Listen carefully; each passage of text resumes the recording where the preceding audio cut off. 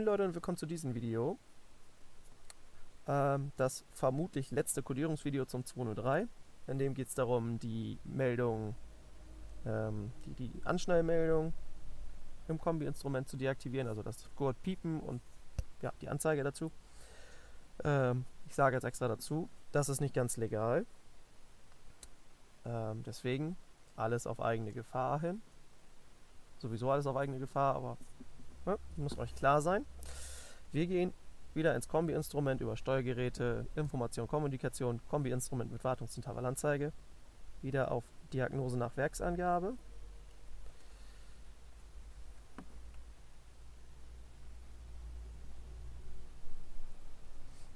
So, auch wieder Steuergerät Anpassung, Variantenkodierung,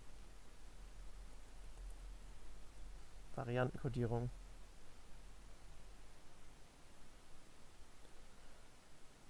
So, und jetzt brauchen wir die Punkte NCAP Gurtwarnung, ist der erste.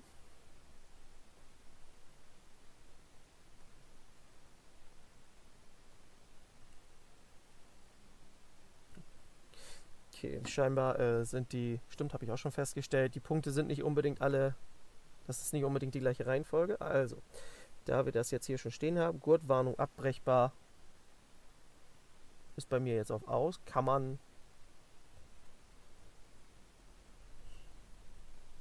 noch anschalten, dann könnte man die Warnung abbrechen. Muss man aber auch nicht. Jetzt müssen wir weitersuchen. Und zwar Gurtwarnung Display aktiv. Gurtwarnung Display. Muss natürlich dann, ist normalerweise auf aktiv, die muss auf passiv gesetzt werden. Und dann brauchen wir noch die NCAP Crash, äh, NCAP Gurtwarnung. Kann auch sein, dass wir da schon drüber weggescrollt haben.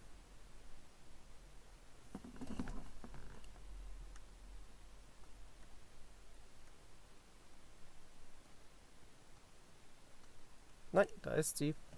Die ist normalerweise natürlich auch auf aktiv. Die setzen wir einfach auf passiv. Äh, kann aber auch sein, dass man da auf nach Konfiguration wählen muss. Und dann muss man nämlich noch das Ganze übers äh, Airbag-Steuergerät machen. Das ist aber eine andere Geschichte. Ich zeige das jetzt eben so, wie es bei meinem Steuergerät ist. Das auf passiv und dann würden wir mit F3 die Codierung bestätigen und anschließend über nein, noch ein zurück über Ansteuerung und hier Gesamtliste da einmal die ECU resetten, also das Steuergerät und dann wäre diese Codierung übertragen und drin. Also dieses Resetten müsst ihr auch zwangsläufig immer machen. Dann sollte die Gurtwarnung aus sein. Es geht einmal kurz das, äh, die, die rote Kontrollleuchte im, im Drehzahlmesser, die, die geht einmal an, wenn man Zündung anmacht und dann geht die nach, ich meine, 10 Sekunden geht sie wieder aus. So, das war's dann mit dem Video und ich wünsche wie immer viel Spaß beim Schrauben.